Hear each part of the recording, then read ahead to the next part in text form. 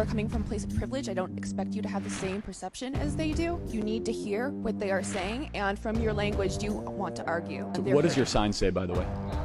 The alt-right threaten lives and kills. So it's somehow me that wants to argue, and you say I threaten lives and kills?